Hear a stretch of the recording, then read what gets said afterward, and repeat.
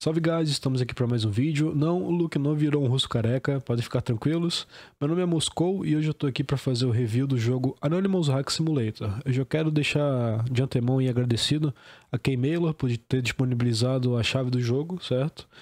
E mais uma coisa, para quem não tá ciente, nosso amigo Luke, ele tá impossibilitado de criar conteúdo no momento, né, por conta das enchentes do Rio Grande do Sul que acabaram afetando bastante ele. E daí ele me chamou aqui para dar essa força, né? Fazer essa review do jogo. Então, se você também quiser dar uma força pro Luke, a gente vai estar tá deixando aqui ou na descrição do vídeo ou no primeiro comentário fixado, certo? A vaquinha, caso você possa tá, tá doando algum valor, qualquer valor ajuda imensamente. E também é, o seu like aqui e seu comentário pode ajudar bastante no engajamento aí do, do vídeo, certo? Dito isso, vamos para gameplay.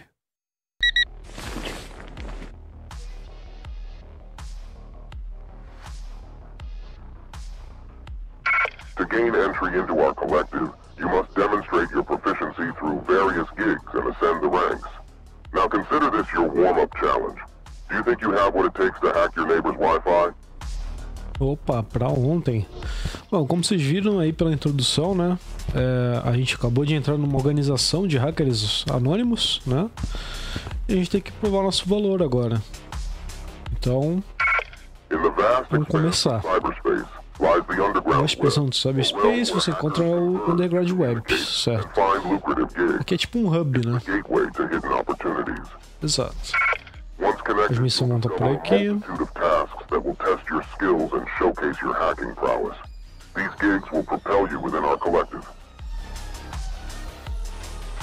Exato, ó, já apareceu a primeira missão.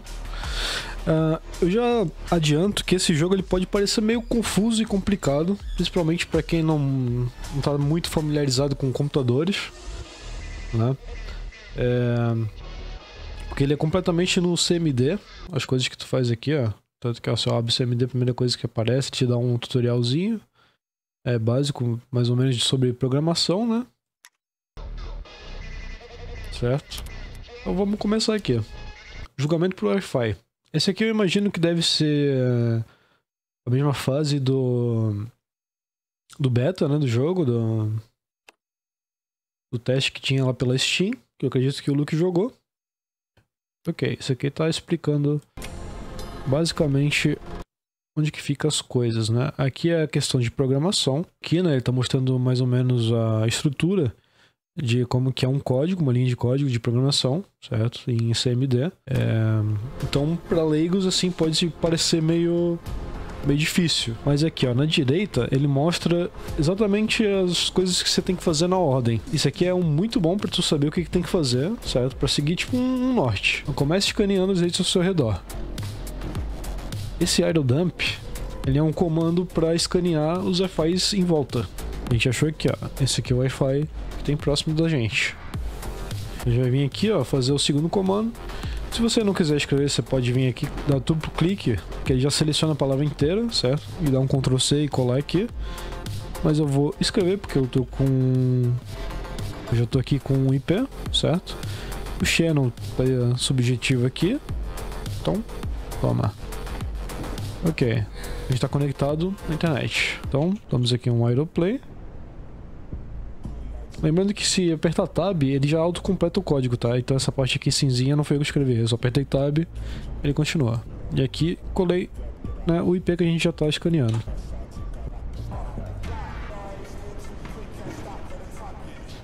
Aqui, ó, coisa boa. Capturamos o aperto de mão. Vambora. Agora, a gente vai pro Aerocrack.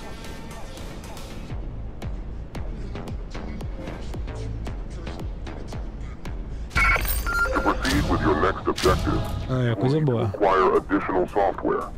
Navigate to the underground web and launch Hackify to purchase InMap and Metasploit. Então aqui a gente tem um mercado, né, a Deep Web basicamente, onde a gente compra exploits para invadir sistemas, certo?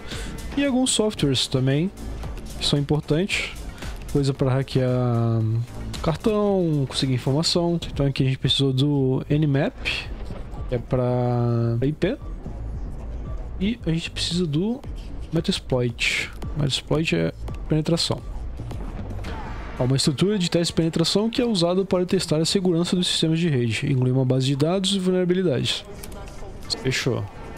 Agora que a gente tem os dois, a gente pode estar fechando tudo isso aqui certinho. Vamos para a próxima operação. Conforme você avança no jogo, encontrará tarefas que apresentam opções, opções opcionais ou múltiplas que afetarão seu alinhamento moral. Suas decisões mudarão a bússola moral do seu personagem. Isso impactará a conclusão do jogo, determinando se você se tornará um hacker cinza, branco ou preto. Mas bora lá então. Essa aqui é a missão né, da, da beta. Então vamos pro centro da cidade. Certo. Acesso o megafone, vamos dar uma conversada com os vizinhos aqui. Attention! This is a public announcement. The party on this rooftop needs to come to an end. Please turn off the music and disperse peacefully. Oh, look. Who's playing Rooftop Cop now? You sure you're at the right party, Grandpa?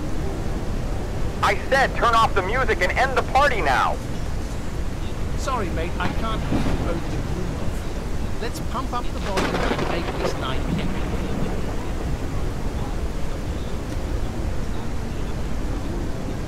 Safados, né, cara? Então tá. A gente tem ali uma opção. Uh, ali ó, no opcional localize o interruptor de energia próximo. Injecte sua ID no malware circuit control e faz o upload do malware modificando uh, para iniciar um desligamento de energia. Vê que muita gente tem dificuldade nessa primeira etapa da opcional e quase ninguém faz. Então eu vou estar fazendo aqui no vídeo, tá? Vou estar mostrando para vocês como é que faz. Bom, aqui é o único interruptor de energia que a gente consegue dar uma olhada, né? A gente consegue ir muito mais pra cá, mais pra lá. É o seguinte, aqui não é manual. Você não tem que arrebentar isso aqui, ó. Tá vendo que tem um código nele? Esse aqui é a ID dele. Então, S400 é a ID que a gente precisa. Vamos fazer isso já. Eu gosto sempre de abrir já dois terminais, certo? Pra deixar separadinho. Cada coisa a gente pode estar tá fazendo. Então, vamos estar tá fazendo isso aqui, ó. Inject. S400, que é o valor. Aí ele fala para injetar no circuitcontrol.exe. A gente pode só copiar esse aqui. Tá, pronto. Ele foi clonado e salvo na pasta dos malwares. Agora a gente vai ter que rastrear esse IP aqui. Digitar um nmap. Aqui ele te fala qual é a vulnerabilidade do sistema desse IP e você tem que basicamente comprar esse exploit aqui no nesse famoso Hackfy, certo? Então a gente vem aqui, deixa eu ver qual que é, FTP Bounce Attack, FTP Bounce Attack, tem que ser a mesma versão, tá? Então fica de olho nisso. Depois de um tempo você vai conseguir estar tá comprando todas aqui, então fica mais fácil com o tempo. Com ele comprado, agora a gente consegue é, fazer uso dele. Né? A gente pode estar tá, novamente duplo clique aqui para copiar o nome, da tab para dar autocomplete. A consegue estar tá aplicando aí o exploit para invadir o IP da pessoa.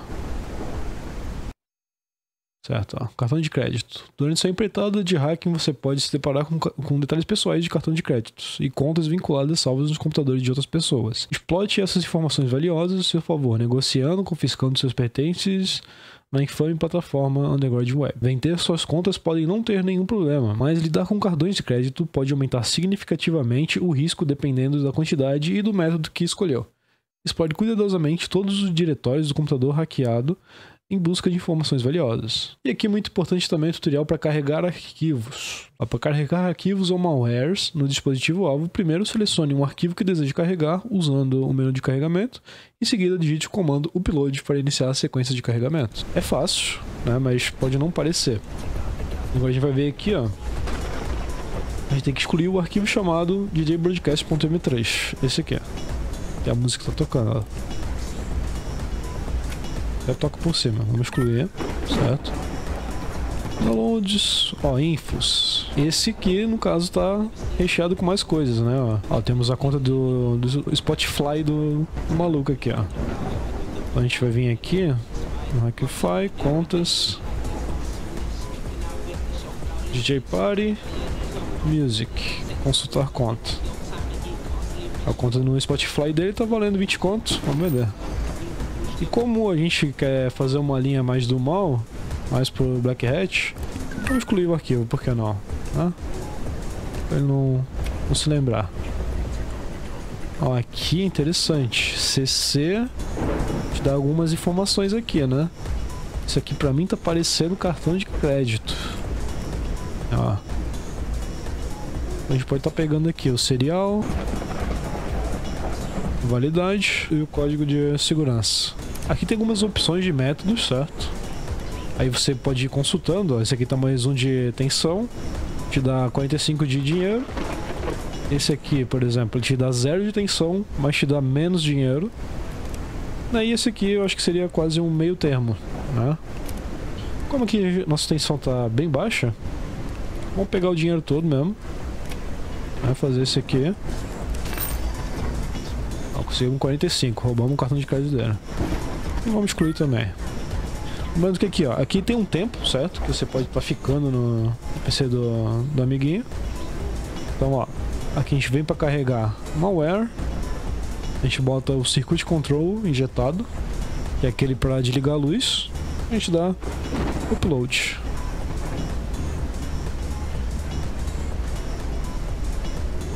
Aí pronto, tá lá dentro. Agora a gente vai pro uploads, aqui ó. Uploads DJ Animals. E upload. Aí pronto. Daí daqui podemos desconectar e sair do PC.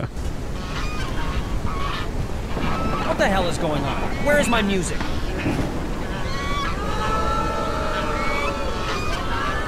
Shut it down! Party is over!